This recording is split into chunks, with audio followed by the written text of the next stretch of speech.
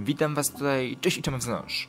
I zapraszam Was już teraz na kolejny materiał z mazowieckich inwestycji. Cały czas bez intro, ale to się może niedługo zmieni. Natomiast dzisiaj jesteśmy daleko, daleko od Warszawy, w Niepodęcie, chociaż tutaj szybka kolej miejska, czyli SKM-ki, dojeżdżała. Jeszcze jakiś czas temu aktualnie pociągi są skrócone do tylko i wyłącznie stacji Wieliszew. Chodzi mi oczywiście o linię S3 która nie jeździ już do e, tutaj Radzymina, bo na tym odcinku jest właśnie wszystko pozamykane. Natomiast co ważne, są oczywiście powody tego że zamknięcia i o tych dwóch powodach opowiem w tymże materiale. Chodzi oczywiście o wiadukt kolejowy linii LK10 nad kanałem Żetańskim, który jest całkowicie stawiany na nowo. Stary został pocięty na żyletki, że tak to powiem, e, w, listop- e, w lipcu tego roku, a nowy, który właśnie widzicie, e, został właśnie e, postawiony i mniej więcej e, cały most już tak sobie stoi właśnie jakoś ostatnio we wrześniu tutaj się pojawił. Co do samego użytkowania, od razu odpowiem na początku i jeszcze trochę poczekamy. Ale więcej, jak zawsze, Jakub Sykut.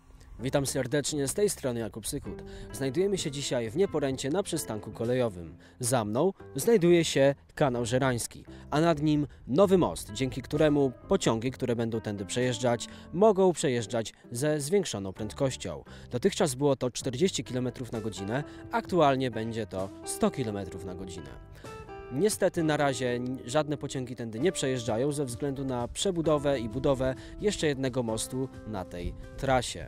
Koszt inwestycji to 13 milionów złotych, pokryty z budżetu PKP PLK. Inwestycja ma zostać zakończona w listopadzie tego roku. Z miejsca wydarzeń, jak zawsze, Jakub Sykut.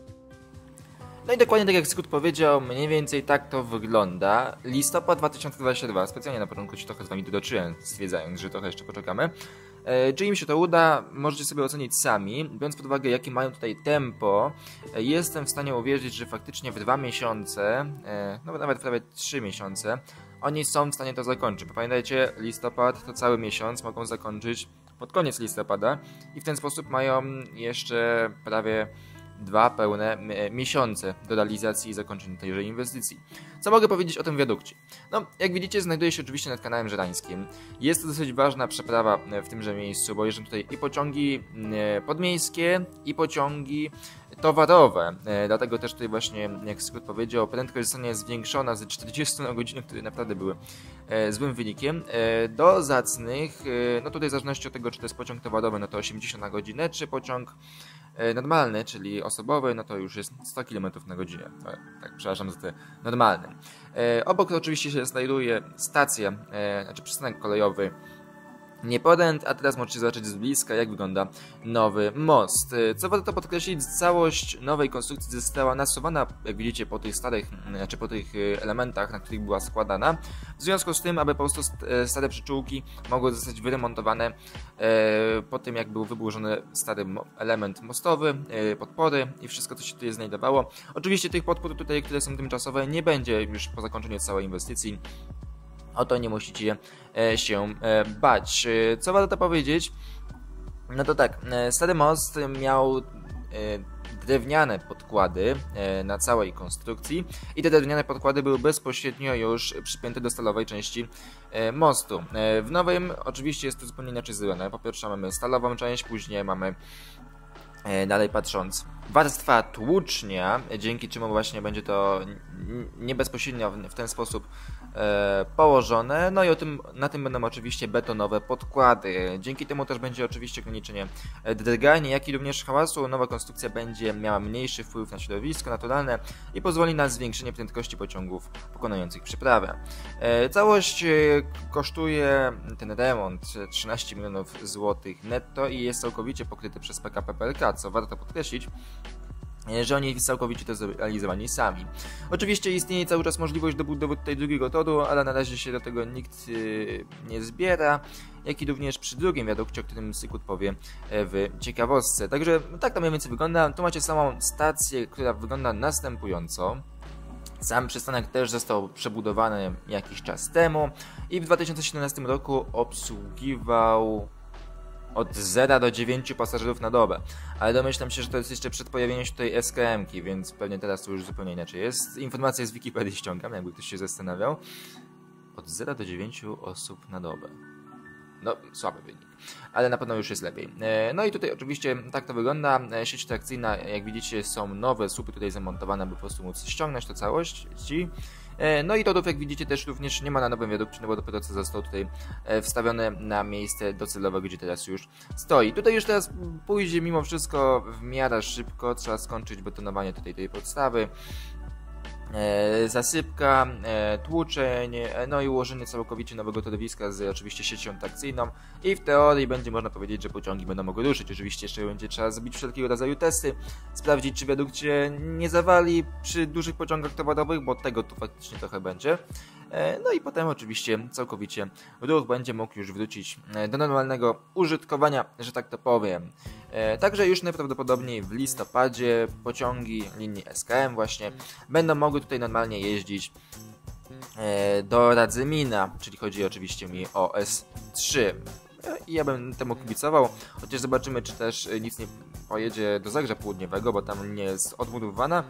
Tam termin też jest jakiś odjechany, ale tam akurat wątpię w te terminy, ale o Zagrze Południowym powiem w kolejnym materiale, bo też mam już przygotowany e, z tego e, film. Także tak to wygląda. Bardzo ładna konstrukcja, bym powiedział. Coś podobnego jest aktualnie stawionego e, przy Warszawie Zachodniej na całym torowisku, obiekt M01, natomiast tam jest trochę to inaczej zrobione bo tam jest o wiele większy to obiekt jest nasuwany od innej strony. Ale dobrze, dużo nagadałem się, czas teraz na ciekawostkę od Jakuba Sykuta. W związku z przebudową drogi krajowej 61 na odcinku Legionowo-Zegrze oraz wiaduktu, który znajduje się nad tą drogą, PKP wykorzystując przerwę remontuje most nad kanałem żerańskim. Dodatkowo zauważmy, podkłady pod tory są drewniane. Nie wiemy, czy będą wymieniane na betonowe, tak jak będzie to w przypadku tego mostu. Z miejsca wydarzeń, jak zawsze, Jakub Sykut. Szczerze powiedziawszy, muszę powiedzieć w tym momencie, że nie spodziewałem się, iż ten wiadukt, ogólnie nie wiedziałem, że nawet jest przebudowany, jak tutaj jechaliśmy. Ja dopiero w tym miejscu zobaczyłem, jak jechaliśmy już e, do Zagrza Południowego. Co nie zmienia faktu, że nie spodziewałem się tego, że coś takiego jest realizowane i że GDDiK E, realizuje przebudowę wiaduktu kolejowego. Oczywiście chodzi o to, że pod starym wiaduktem nie dałoby się zrealizować e, nowej dwujezdniowej drogi, która w tym miejscu jest planowana, projektowana i jeszcze część pozwoleń jest realizowana. E, dlatego tutaj powstał nowy wiadukt. Poprzedni był jednoczęściowy, teraz już jest dwuczęściowy. Jest możliwość rozbudowy tego wiaduktu, aby była, był drugi tor właśnie na tym zakręcie od strony północnej, także to wszystko jest tutaj zachowane. Co chciałem powiedzieć a propos drogi y, DK61, no nie filmu na razie nie planuję zrobić, bo jeszcze przebudowa aż tak bardzo się nie rozkręciła.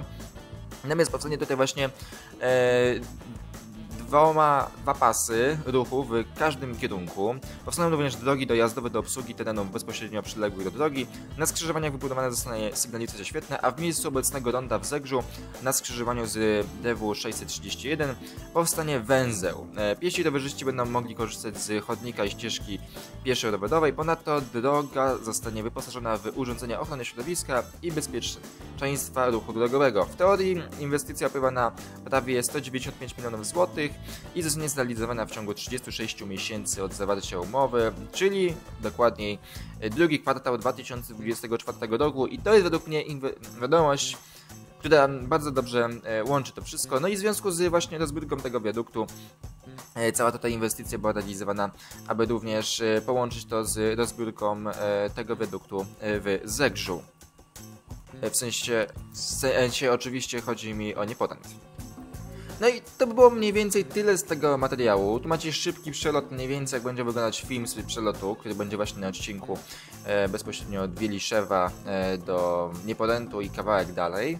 E, tak to wygląda. No lasy, lasy, odcinek całkowicie jednotorowy z czasami pobocznymi e, drogami e, w lesie i innymi obiektami. E, tak to mniej więcej wygląda cała inwestycja. Mam nadzieję, że taki film Wam się spodobał. Jeśli tak, to możecie zostawić łapkę w górę. Jeśli chcecie zobaczyć więcej takich materiałów, kliknijcie subskrybuj i ten dziwny dzwoneczek. Już niedługo będą kolejne materiały, niekoniecznie z DK61, chociaż domyślam się, że część z Was będzie zainteresowana takim odcinkiem przebudowy i możliwe, że się zastanowię. Ale właśnie jeszcze odcinek z Zagrza Południowego i z tej i właśnie z Zagrza Południowego będzie jeszcze film z przelotów, bo to są dosyć długie odcinki, długie trasy w przebudowie, więc zamierzam też również to zanalizować i już po tych dwóch e, filmach wrócimy trochę do Warszawy, poza jeszcze filmem oczywiście z Orzerowa Mazowieckiego, e, ale to wszystko będzie się mniej więcej ładnie komponować. No i oczywiście przygotowujemy się już wielkimi krokami do otwarcia Metta na Brudnie, jak i również parę filmów typu tramwaj i kierunek Wilanów czekają na pozwolenia od służby ochrony państwa, aby mógł latać w różnych miejscach, jak Plac Trzech Krzyży, e, czy tam jeszcze trasa Łazienkowska, e, no i most, kładka pieszo-rowerowa. To wszystko czeka na pozwolenia. To nie jest tak, że nie nagrywam tego, bo nie chcę. Ja już chciałem od zeszło chyba dwóch tygodni. Do zobaczenia wkrótce w kolejnych materiałach na moim kanale. Cześć!